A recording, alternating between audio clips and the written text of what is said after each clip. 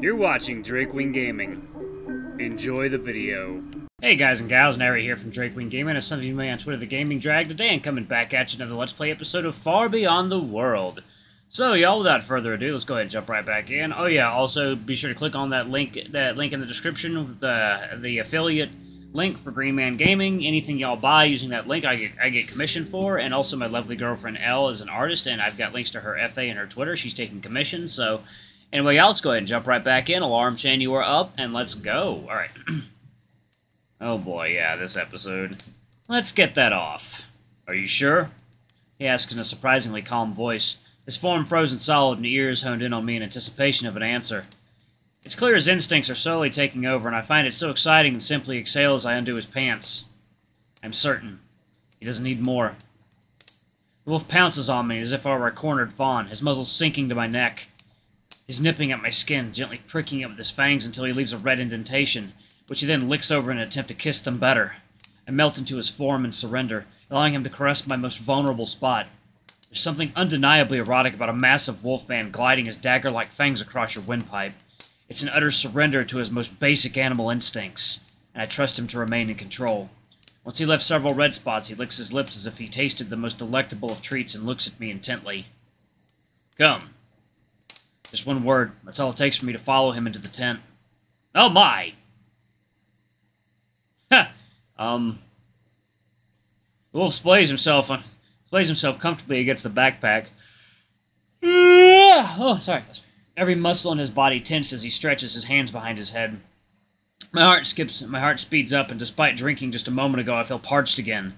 I bite my lower lip, taking off my dress and admiring his perfectly sculpted body.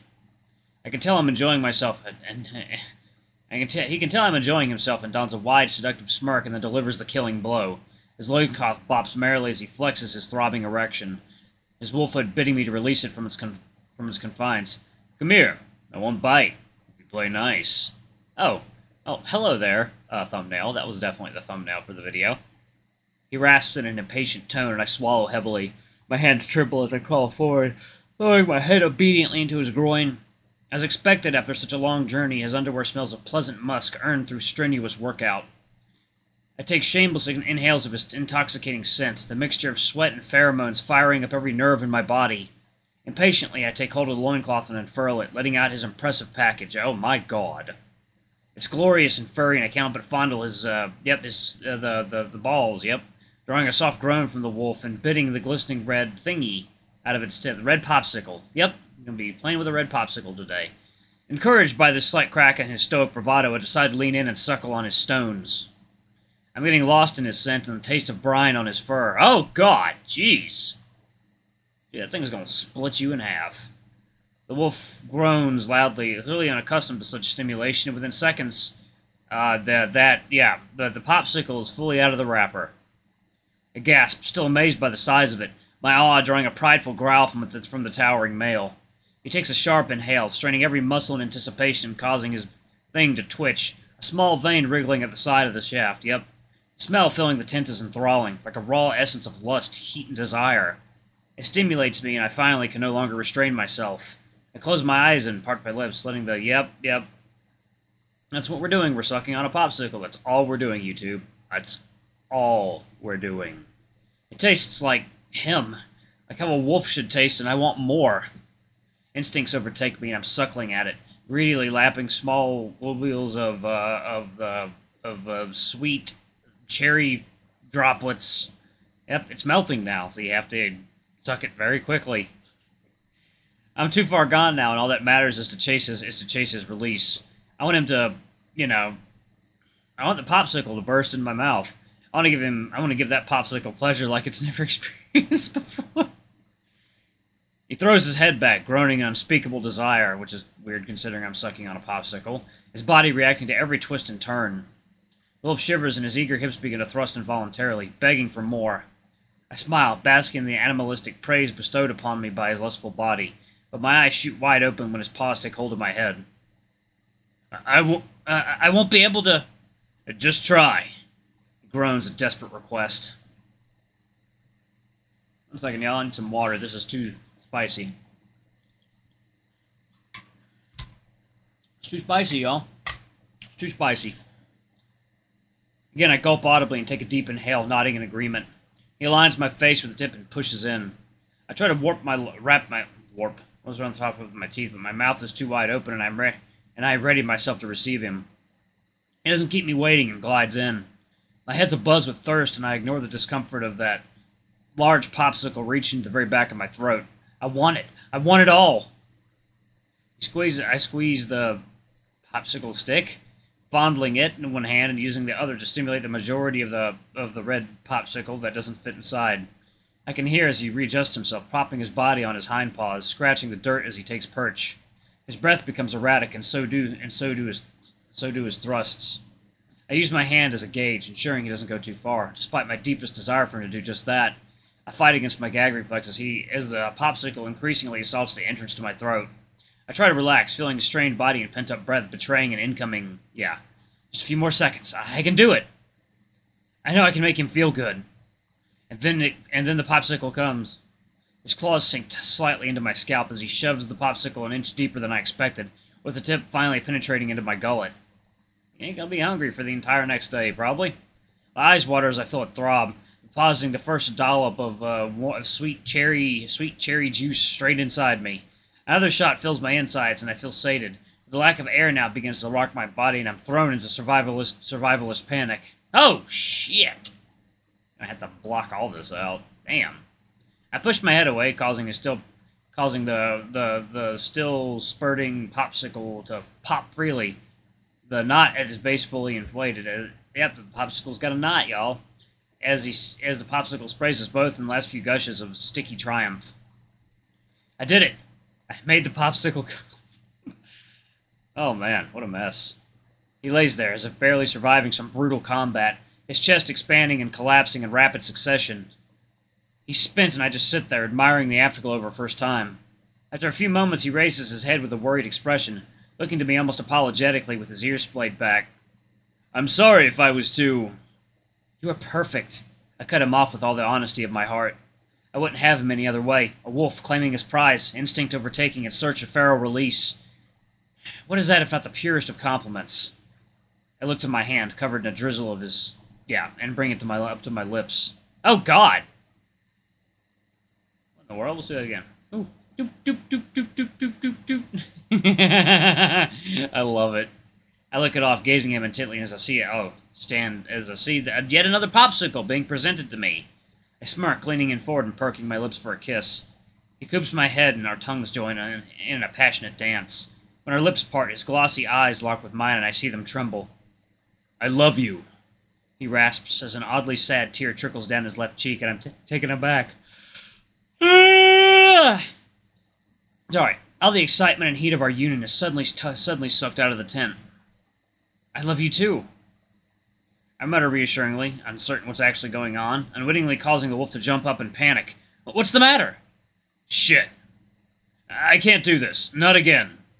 His voice becomes shakier, and, and now and I know now that something's wrong. More water. I need more water.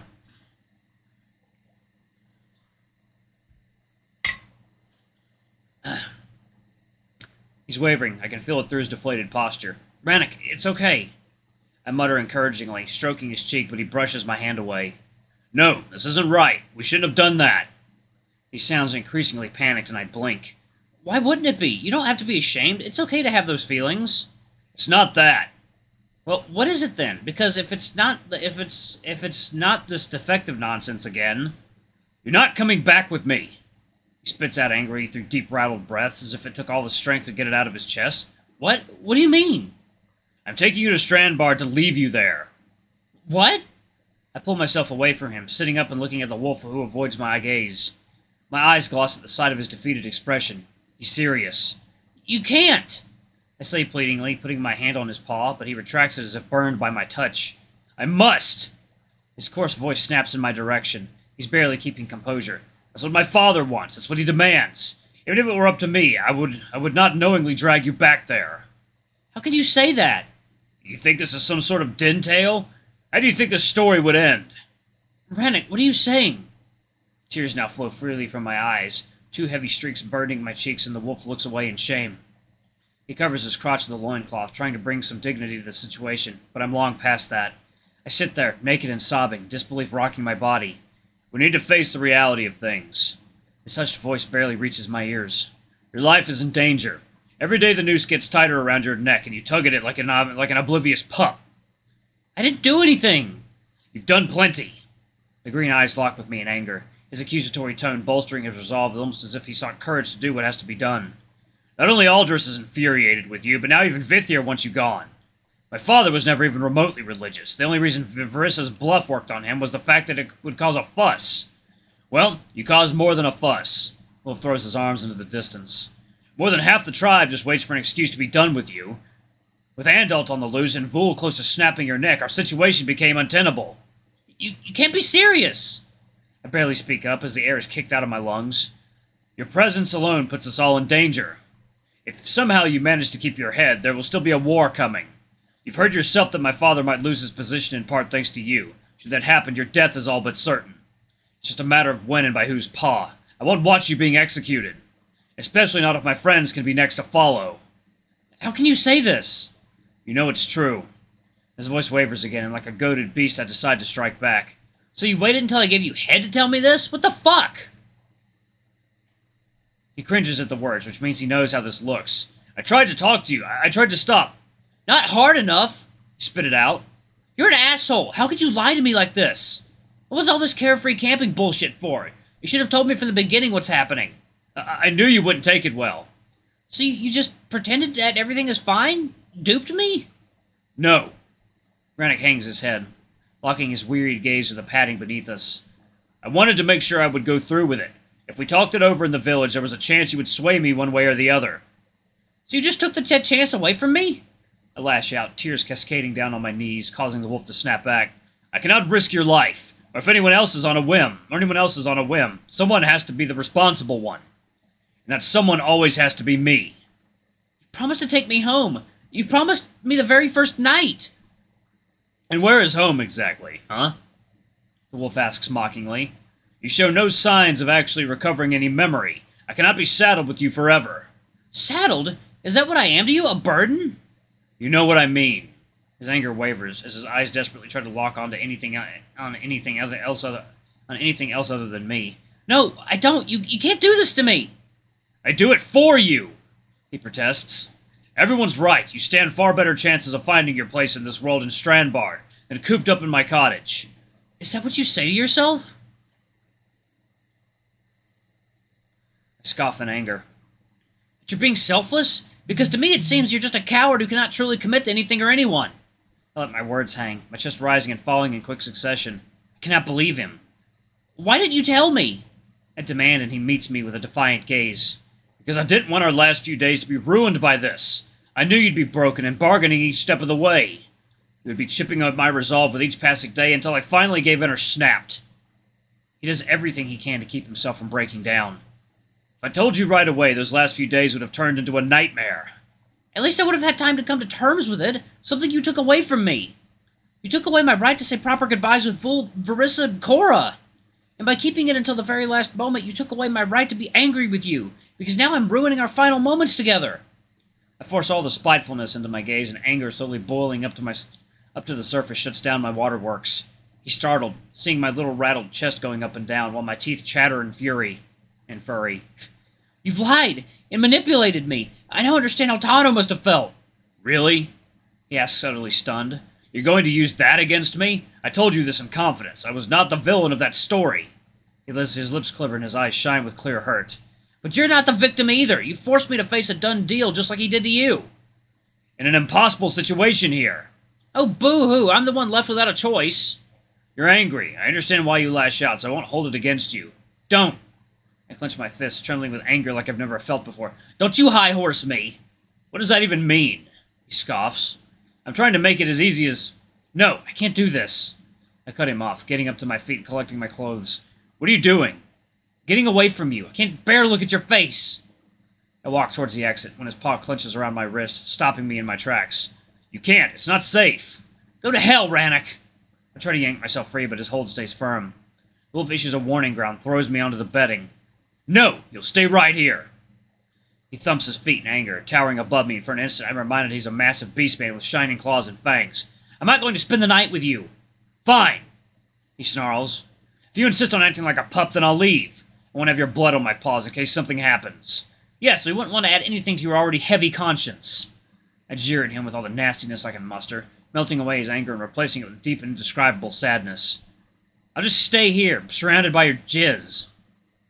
His green eyes lock with me for a moment, darting across my body in confusion as if looking for the right words. But eventually the wolf gives up the search and simply sighs deeply, pulling on the tense cloth. Think what you must. Hate me if you will. His voice is low and devoid of life. I didn't want this. I tried to resist and to be respectful, but I failed. That's on me. Letting you go is the hardest thing I've ever had to do since Tano. But ultimately, I know it's the right thing for everyone involved. Seriously, Ranok, get the fuck out of here! I send my fist into the bedding and the wolf abides. He picks up his loincloth and pants, leaving the tent with one last sad look in my direction. Once I'm alone, I allow my anguish to claim me, unloading wave after wave of tears and howling like an injured beast into the pillow. I'm in pain, and the anguish tremors rock my entire body. Once again, I'm thrown into a pit of despair. I'm in mourning.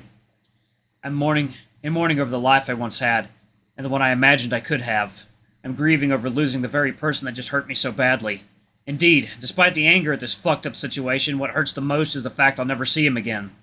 I never see any of them again. Minutes turn to hours, and I continuously sob with no sign of reprieve. Eventually, all falls silent and the fire goes out. Everything fades into darkness on this moonless night. Alright, I'm gonna go ahead and pause it right there. Phew, that was started out spicy, ended up being very sad and heavy, and uh, yeah. Alright, y'all, I'm going to go ahead and pause it right there. Thank you all so much for watching. Don't forget to like, comment, subscribe, ring that notification bell. Leave a super thanks. Or tip if you can, it always helps. Until the next video, I love you all. I'll see you next time. Bye-bye!